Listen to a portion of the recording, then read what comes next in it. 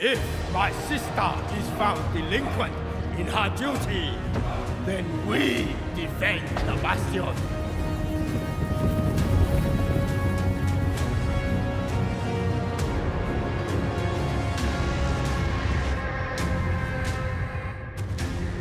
The Dragon Emperor's territories are vast, varied, and fractured. Amongst the stoic Cathayans, whose architectural prowess is beyond compare, skulk creatures of foul intent. The vampiric curse siphons life from the land, which is trampled beneath the heavy boot of orc warbands, and, burrowing deep into the heart of this once great nation, a subtle infection of Skaven.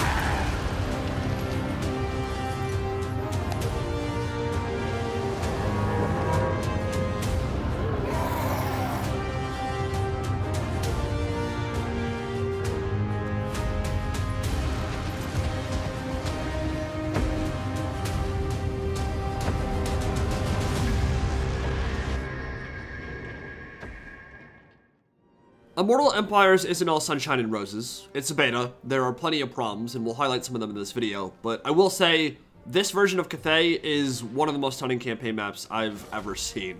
It's the new gold standard when it comes to both functional design and aesthetic beauty. It's gorgeous, and it's a new home of Nakai the Wanderer, who has long had a rather unpleasant campaign. So I guess the question is, is it fixed now? Uh, kind of. Some of the old issues are gone. Some new ones have taken its place, although I think those are more Warhammer 3 related than Nakai himself. I'm having plenty of fun with it, but it's also one of the easiest campaigns I've ever played, and I'll talk about why in a little bit. For now, let's soak in the sights and sounds and let you get your bearings for an area of the map I think a lot of people will gravitate towards, just because of how dang pretty it is.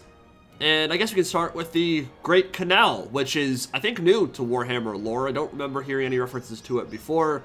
But uh, you can't see all of it because of the fog of war. Looks really cool, and yes, a lot of these rivers are navigable, so if you're Lokhir Fellheart, your Black Ark should have plenty of fun in this neck of the woods. So, the Skaven have kind of been useless. It's turned 50, and they only have slaves. Uh, this is kind of the issue that I've been seeing a lot in general, is that difficulty in Immortal Empires right now is not very high. The AI is really passive on pretty much every difficulty imaginable. All the way up to Legendary, they don't really want to fight. I think we can all agree anti-player bias can be incredibly annoying, and back when the game first launched, seeing a faction sail across the map and leave their homeland undefended, just so they can raise your mind minor summon to troll you, is stupid, no one wants that, it should never been a thing. But right now, the AI intentionally avoids conflict at all costs, even when they've got three stacks. If they're like, uh, maybe we can't beat them, they won't take the fight. They very rarely engage in open field battles unless they have an overwhelming advantage. And for the most part, they just kind of turtle up and sit inside their settlements. And it leads to situations like this, where I can just spam auto-resolves against isolated targets, destroy them utterly. To be fair, Nakai stack right now is very strong. Gold Chevron Kroxigors is not fun for Snikch to fight, for the Skaven to fight, unless they have a lot of Rattling guns, but frankly, they should have better armies at turn 50 than the ones they have right now. Our boy's a bit of a beast. I mean, he's always been strong, but he's level 34 at turn 50, which, again, it's a lot easier to rank up in Warhammer 3 than it was in Warhammer 2, because when you fight those big battles, you get way more XP. It levels up quite a bit quicker. Uh, we have Kroak too, which means that the stack is pretty much unassailable from the AI. Even on Legendary, I think they just wouldn't have much chance of beating us in a straight-up fight with really anything they could throw at us. Across have like 45% missile resist. We have Kroak who's dropping big fat bombs. Doesn't quite have the Winds of Magic pool he did in game two, but he has barrier and some other things to maybe make up for it a little bit. I don't think he's quite as strong as he was in Warhammer 2, but Kroak is still a beast. He's still terrifying, and we're probably going to show some battles with him very soon. Uh, I think we need HP on our Carnosaur, our Honored Elder, Scarvet, and you know what? Let's take a look at the Temple of the Old Ones, because I think this is a feature that a lot of people are curious about. I would not be able to tell you all the changes that have been made with it. We don't have patch notes yet, but here is the basic overview of this mechanic. So basically when you conquer a settlement and give it to the defenders of the old ones, you can dedicate it to a certain temple, either to Quetzal, Itzel, or Zolanka. Quetzal, we are working towards right now because of the protection of Quetzal ability makes a unit unbreakable and immune to damage, which is pretty dope. We currently have Quetzal's Esteem, which gives melee defense, missile resist to our Kroxigors and Temple Guard, and we can spend Old One's Shekels to get faction-wide buffs for 5 turns. One of them for Itzel gives 25% extra movement range for all armies for 5 turns. Beasts of Itzel allows you to summon Razor on a hunting pack. Haven't invested much in Itzel or Zolanka yet. Itzel, I think, is kind of trash. I seem to remember it was the go-to one in Warhammer 2. To be honest, I really can't remember. Zolanka's patronage, though, there's some good stuff here. Winds of Magic capacity plus 25 is a pretty big deal considering we're now capped at 100. So adding to that is very nice. Yeah, here it is. Jurisdiction of Beasts, extra 25% movement range, and income from post-battle loot, 50% extra. That's pretty good. But yeah, there's a lot of ways to buff your faction into the stratosphere, which is nice. And of course, we can also use rites to supplement ourselves and the defenders of the Great Plan, who in this corner of the map, I think it's the biggest buff they've had since they were launched in Warhammer 2 with the Hunter and the Beast. It's just the fact that there's not a lot of natural threats to attack them. They're in a corner of the world. They haven't been under pressure from really anything, and I think that's one of the reasons why this campaign has been so easy. So that's the basic overview. Of course, you can get some blessed units on each of these trees as well. But I think we want to get into a battle, and the first one we'll do is a quest battle that was actually played a little bit ago. I love this freaking map, dude. This is like the only map in the entire game that truly looks like a full temple city. Nakai with his inspiring speeches once again. So well known for that. Oh, some burning alignments. Hit something, please. Oh, they were they were horrible. Orbital bombardments missed everything. I've actually to get my ass moving because if either Gor-Rok or the Slan Mage Priest die, I just straight up lose the quest battle. Gor-Rok will be fine. He's unkillable. Slan Mage Priest can get blown up pretty easy by rattling guns and stuff.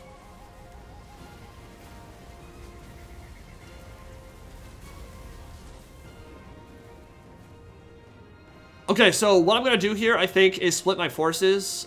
Four or five Kroxigor units, maybe a couple Saurus and a Bastiladon can go down to the east and help out the Slann Mage Priest to get rid of those Rattling guns quickly. They at least have the speed to close the gap and get over there to help out in time.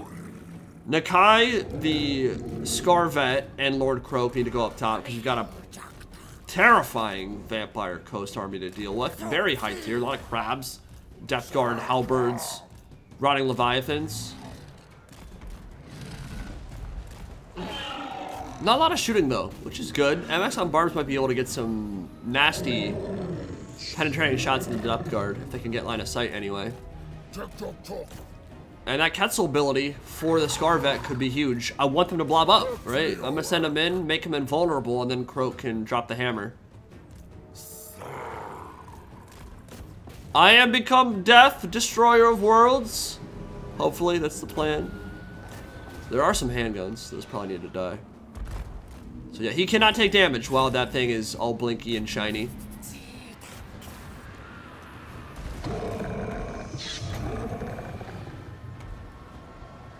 Should do some damage, clear out some of the handguns and zombies anyway. Nakai's here. I think they're going to take a lot of damage in this battle. I don't think there's any getting around that. They basically have to face tank while Kroak drops the bombs.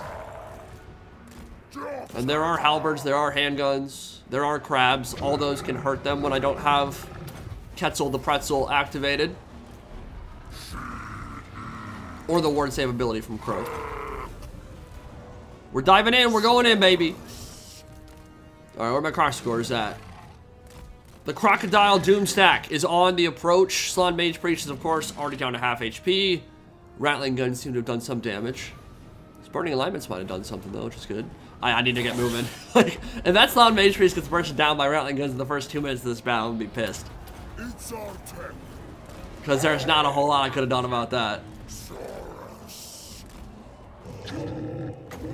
I don't have any healing in this army right now. At some point, I'll probably work on getting a Skink Oracle in the stack just for some Earthbloods. Problem with having Nakai as your starting faction leader is that You can't turn him into a Slann Mage Priest. You can't regrowth. Lizardmen don't have any life casters that are heroes. They just have some particular healing spells like Earthblood, which is not the best way to get your dinos back up to full HP. Kroak does have regen himself, which is good. So if he gets bursted through his barrier shield, you can get some health for him. I think that's true for all Slann Mage Priests now. I think they all get barrier. I think they all get regen later on in their tree. Okay, Rattling Guns super duper need to die because they're going to blow up the dinos as well. I think I should be able to push through here. Just helping Abomination on the way in. Rattling Guns getting some nasty shots into that Engine of the Gods. I'm not sure it's going to survive this. Uh, the cooldown on Kroak's spell is just non-existent. It's crazy. Scarvet is starting to take some damage, as is Nakai. Rotting Leviathan Depth Guard, it's a kind of brutal combo, so I need to blow him up. But I need to kill the chaff out first. Alright, Rattling Guns have been silenced, that is good.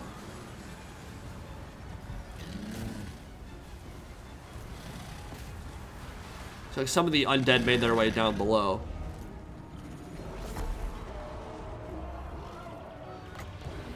Drive that Supreme Spell Shield of the old ones and get the Scarvet around. If we can attack the crab from behind, I don't think it will last very long. Miasma of Despair, let's push through. Kind of have Ogre Syndrome with a stack like this one. Big time issues getting on target because you keep bumping into your own stuff and dry humping them into submission. But the Scarvet has Unbreakable and immune to damage now, fighting the Rotting Leviathan, so that's good. In terms of healing, we could also go for Rev Crystals pretty soon. I don't know that that's quite as good on a Kroxigor stack. I mean, it's definitely strong. Actually, yeah, it's probably better than the Ark of Sotek. We have plenty of anti-infantry killing potential already. Alright, this first army is pretty much dead. I don't think I need to cast any more Kroak spells. The Amaxan Barbs around. Eh, not been super impressed with them. May dump them later on.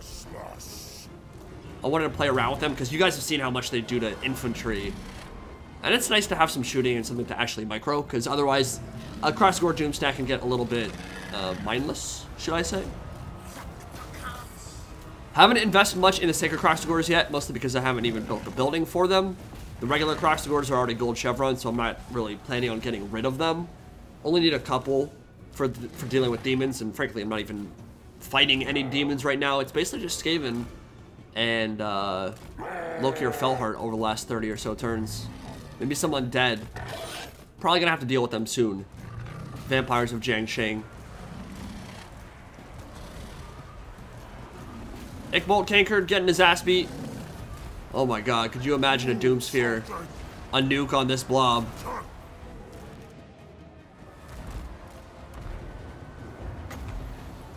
Consider my pizza delivered. That's a juicy blob of depth guard.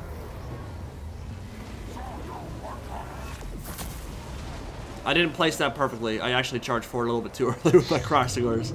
But hey, I can drop it again. Sweet. Thank God for Lord Kroak. Luthor's sitting on top shooting his pistols. He's gonna be out of ammo soon though. I don't think the Slann Mage Priest or Gor-Rok are in danger. What is in danger is my stuff, because I'm face tanking the Vampire Coast army right now. Oh god, Kroak is getting blown up even through barrier. He doesn't have regen yet, so he's not going to be able to heal. I need to get him out of there. Make him invulnerable for a bit, because all the Necrofex Colossus are trying to target him down. That is one thing I've noticed. If the AI does one thing really well right now in battle, it's shooting your high value stuff. If you're Slann, enter their Arc of Fire, everything is going to shoot at it. Everything. So I need to get Kroak just completely out of range and do some juke in here.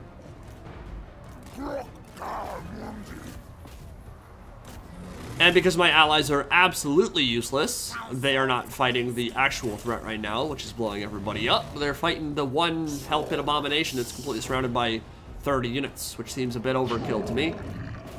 Oh, it's not the HPA. That's the HPA. I don't even know what they're fighting over there. Need to silence these Gundams. Tall Geese is making me real sad. It's making Kroak real sad. And when Kroak is sad, everybody's sad. This is not part of the great plan. Alright, I think we got him. We got the full surround off. I don't think we're going to lose anything else. Luthor should die. And then we'll have the Golden Tributes, which is a perfect Vigor AoE buff for Kroxigors. And for anything hanging out around Nakai. Who is that half HP? I'd love to get him a healing item or a healing trait. Oh, he's gonna straight up. Oh, he got sent flying! The mass wasn't high enough. Alright. Coaster dead. I'll drop a few more bombs on the mortars in the back line once Kroak is in a safer position, but this battle is over. Those dastardly Jade Custodians betrayed me. They went after defenders of the Great Plan, and that is just not something I can abide. A lot of Jade Warriors, a lot of Archers as well. Trading in terms of the infantry engagement, it's going to be a little bit challenging because Jade Warriors are kind of tanky and Saurus aren't going to cut through them that fast. And Fire Magic, unless I can get them to blob, probably not going to kill them too quick either. Burning Head's not great versus armor, but we'll see. This is why we play Immortal Empires though, man. Lizardmen in and amongst the cherry blossoms and Cathayan architecture in a new world. It's gorgeous. It really is. Unfortunately, I can't get very many close-ups in battle. All these are being recorded live, so it's kind of hard. I don't I don't want to lose units just because I'm zooming in. It's kind of dumb.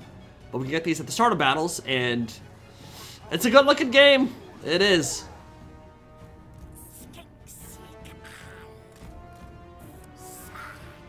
Alright, so we're to get the Heaven's Priest. This could actually be perfect. Because they're to come out and be forced into this choke point. This is a really cool map, by the way. I mean, just gorgeous aesthetically, obviously, but reinforcements are going to have a long and arduous road to march while getting blown up by vortexes, I think. So they're going to be forced into that cliffside, into that choke point. Meanwhile, Saurus and Kroxigors have a lot to deal with here. So, Jade Warriors, a lot of crossbowmen, a lot of archers. If I get in range, all those archers will shoot at the Slann Mage Priest, so... Probably need to get some shields on my Saurus here, but they're just, they're silver chevrons, so I don't want to, I don't want to just dump them, right? Like, it doesn't really make sense. Shields are good, but they're not worth losing all that veterancy for nothing. At some point, I'll probably just upgrade anyway. But, how do we do this? I think we just need to engage all the way across the front. I am not really going to be able to force blobs. I think they have too much shooting. And the AI doesn't really like to do that as much anyway, at least in terms of a 1v1 engagement. When they're coming in as reinforcements, they're more likely to. So I might be able to abuse that on the other stack. But right now, I think, yeah, just engaging all along the front is probably the right call. Just send them in. And we'll see what the Slann Mage Priest can do. Even if Burning Head doesn't do a lot to 90 armor of Jade Warriors, it can still cause leadership penalties. Which stacked up with the Terror could be pretty good.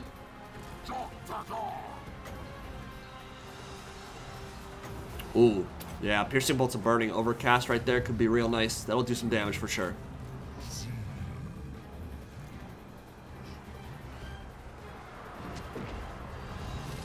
Oh, yeah. Yeah, that was juicy. That one felt pretty good. Okay, reinforcements are on their way in, so that will split my attention for a second here. Let's see what they're up to. Okay, we can definitely get some good chain lightnings here. Oh, this could be, oh, this could be really fun. I really want them to get funneled a little bit more into that street, that causeway as they march up. But for now, we can drop a few vortexes. We have plenty of winds of magic to work with. Uh, it's not going to be amazing, but not terrible either. 3.6 Ronkin. Easy piece. What do I do with my Slann? Still have 30 second cooldown on the snake drop. We're busting through pretty easy. Yeah, we'll Burning Head that. I'm not sure it's going to be incredibly impactful, but we'll see. I am more worried about this incoming reinforcement section, though. Yeah, those Jade Warriors do not care about Burning Head at all. Even Overcast, they just... There's just like no AP on that spell. My stomach is grumbling, I'm hungry. A lot of Cathayans to eat after this one, I think. We got a lot of work to do. Okay. Okay, yes. Yes, this is what I wanted. Yes, please just continue the blob. Oh my god. They're trying so desperately to get here in time to save their friends, but they're never gonna make it. Chain Lightning's actually not too good for that either. I mean, I did some HP damage, but I think we might want to save for some Piercing Bolts of Burning as they come in. Let's get the flank off. Line them up. Gotta be a little careful with Slann Mage Priest. Don't want him to overextend, but about to get a full surround on the initial army, and then once the Winds of Magic return, the Magma Storm shall be unleashed. I don't know how to use the Quetzal ability here. Like, there's nothing that's getting Focus Fire down, right? I mean, Slaughter being shot, but he's not going to take any damage because of Barrier. Do I Burning Head this?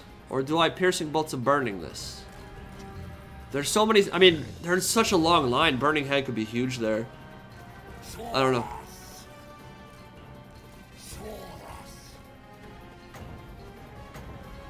Yeah, I think I think we pretty much have to piercing or uh, burning head this, right? Like they're just in such a long line, it could hit so many units. Oh, oh, was it good? Eh, kind of. it wasn't amazing. piercing bolts probably would have killed more units overall, but that was still fun. Oh, and what what I can do here maybe is get a cross score to just get them blobbed up and then drop them piercing bolts. I mean, it's just a, a storm of magic right now. This is brutal. That poor reinforcing army doesn't really have... I mean, they don't, they don't know what to do. I like map design like this. It's kind of asymmetrical and forces both the player and the AI to behave differently than they normally would. It's not just a flat piece of terrain. A lot to think about here. Kind of reminiscent of some of the Medieval 2 maps from the days of yore. With that said, though, uh, I would not say the AI is handling it particularly well with the reinforcing army anyway. First army did pretty well, all things considered. This army, not so much. Archers are trying to shoot my single entities, but forcing themselves into really bad positions that will make them a target for spells.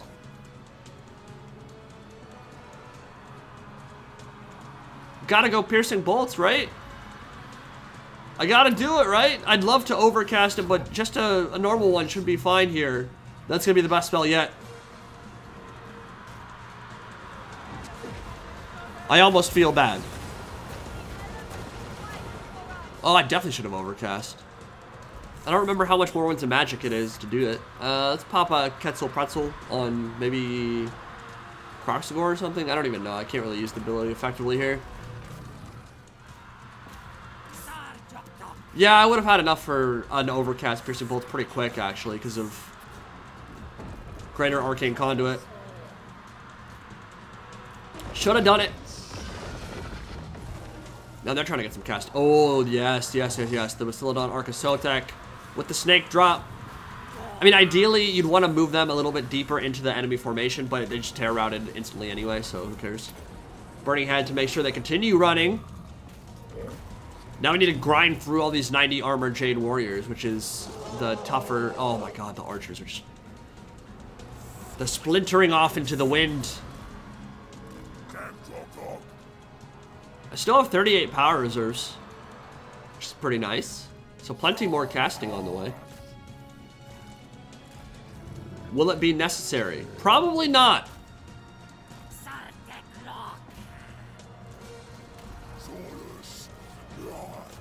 Just tear her out for me.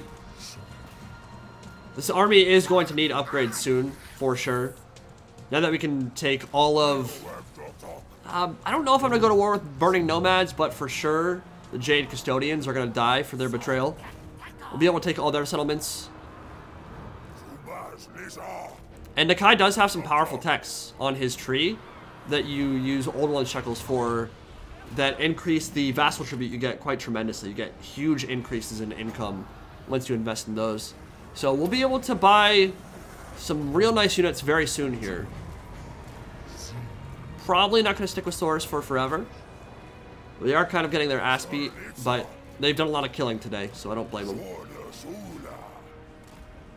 And I think it's going to be a mass route very soon. Let's get like one more cast in on something after that burning head. That looks pretty good. Minus 8 leadership should cause some more terror routes back there. That's a victory. Okay. I mean, that's going to just cripple. Going to cripple the Jade Custodians. They should not have betrayed me. They should not have gone after the Defenders of the Great Plan. We're going to run them down. And go back to the campaign map.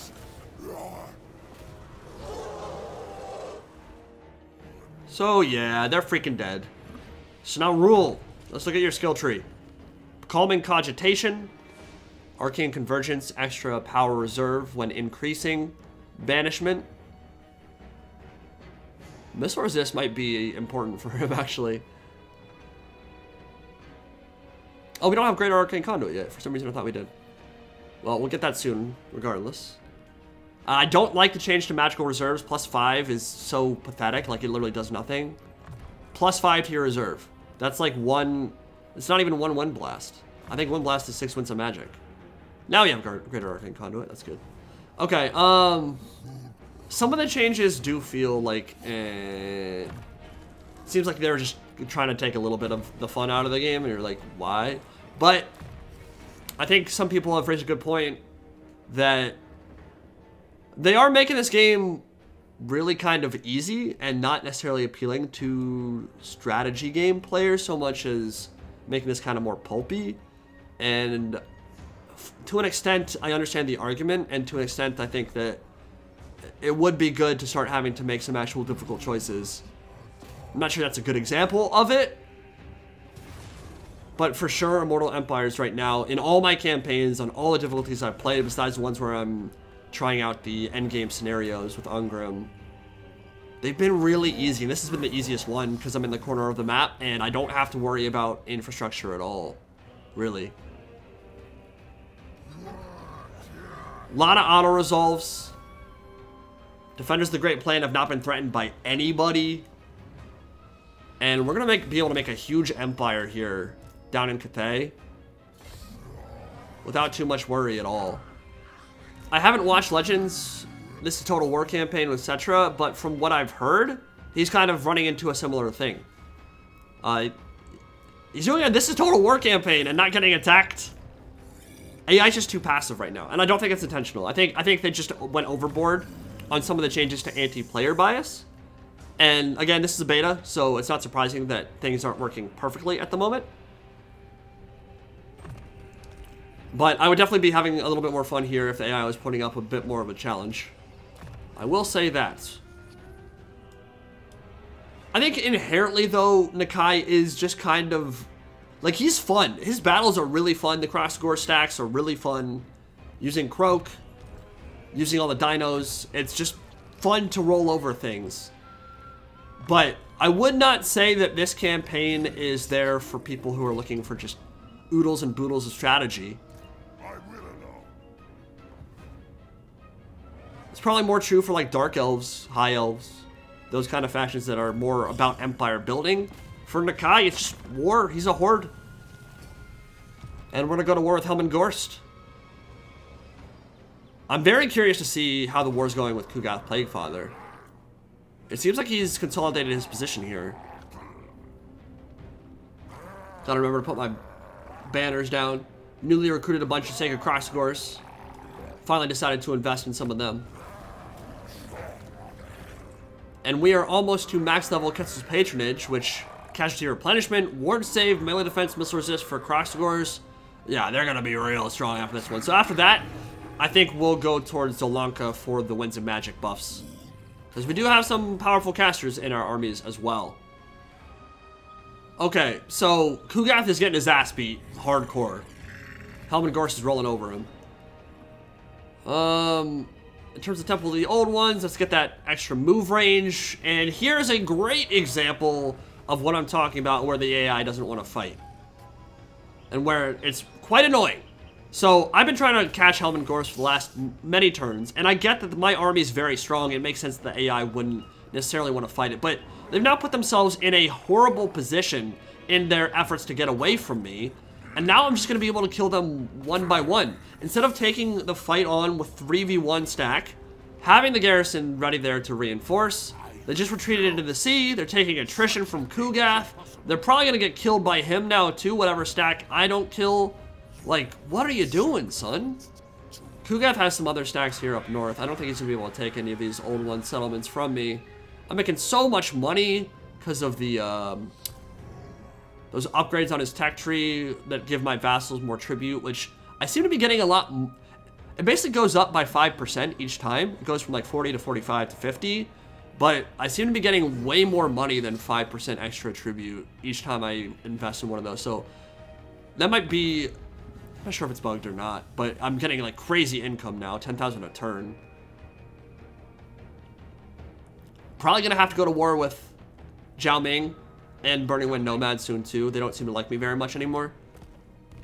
So Snell Rule will have some things to do. I'll, i need to upgrade his army for sure. Like at turn 70, this is kind of a weak stack.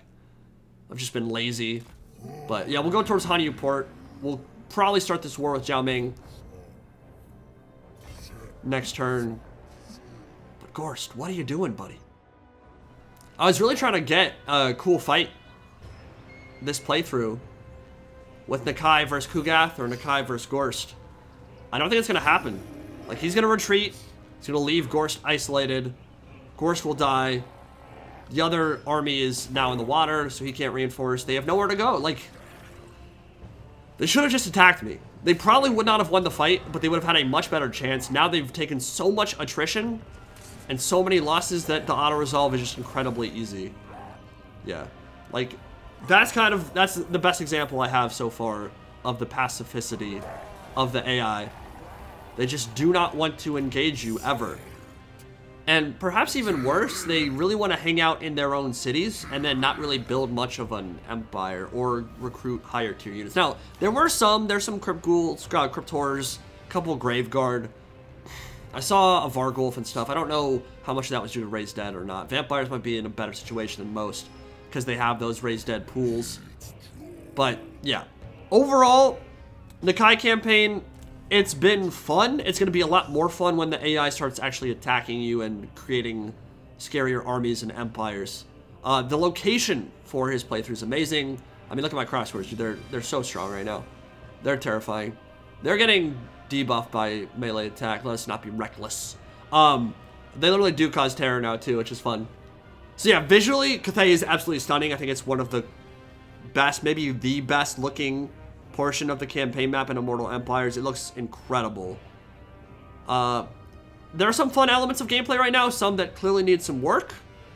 But let me know what you guys want to see in terms of Immortal Empires gameplay, and I'll see you all in the next video. Peace out.